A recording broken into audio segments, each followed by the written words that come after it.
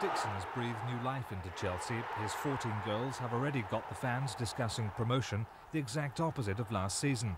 His £150,000 transfer from Reading in the summer looks like a bargain, as those same fans compare him to Peter Osgood.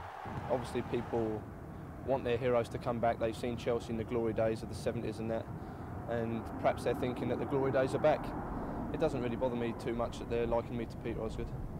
In the background at training, the old brigade are bringing back the good old days. Peter Bonetti with the goalkeepers, Alan Hudson's pushing for his old first team place, and John Hollins is providing the winning attitude. But in the limelight, it's Kerry Dixon. I don't mind the publicity. Uh, the way I see things, any, any publicity for me is good for Chelsea. So it's good for the club. I mean, everyone benefits. I mean, the crowds are going to swell. I mean, we play good, attractive football. And people, if they want to come and see me, they'll have to come and see Chelsea, which is more revenue for the club, so it's got to be good.